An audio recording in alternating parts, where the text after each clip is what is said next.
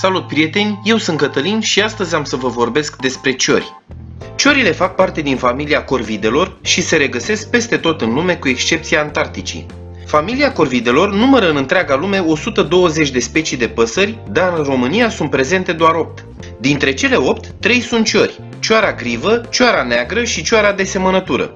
Cioara grivă este ușor de recunoscut după mantia și pieptul gri, capul și coada fiind negre. Cioara de semănătură are în plus pantalonaș, iar la bază ciocul prezintă o zonă de piele nudă, alburie. Cioara neagră, având penajul complet negru, este și foarte ușor de recunoscut.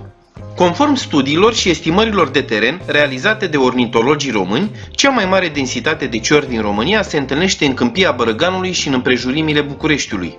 Ciorile ocupă toate arealele și nișele ecologice, de la ghețurile polare, păduri de toate tipurile, câmpii, zone agricole, delte, munți, deșerturi și până la zonele locuite de om, unde ajung chiar să prospere.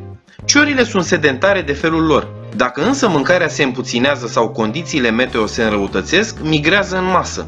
Ciorile sunt păsări foarte sociabile, clocind în colonii care pot atinge mii de exemplare.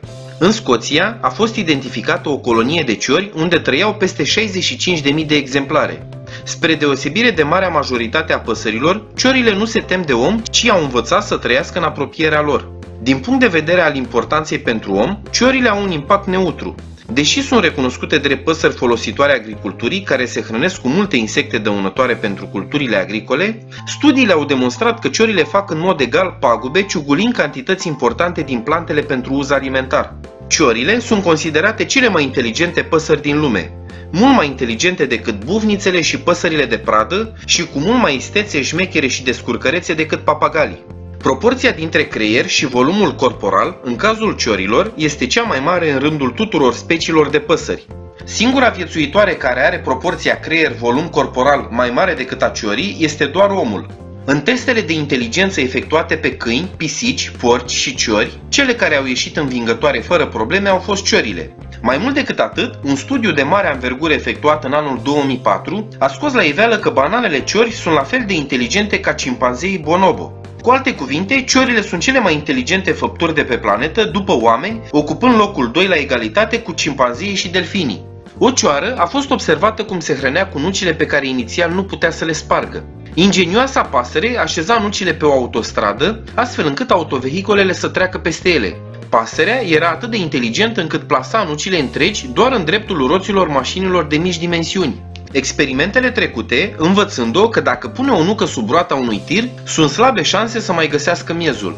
Ciorile sunt singurele viețuitoare cu excepția omului și maimuțelor care sunt capabile să folosească de unelte în căutarea hranei.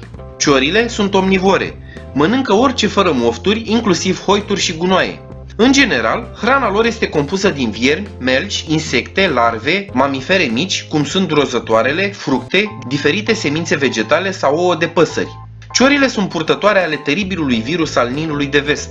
De fapt, ciorile au introdus acest virus în Statele Unite în anul 1999. În Grecia antică, cioarea era consacrată zeiței Atena. Ciorile au o zi rezervată în calendarul popular românesc.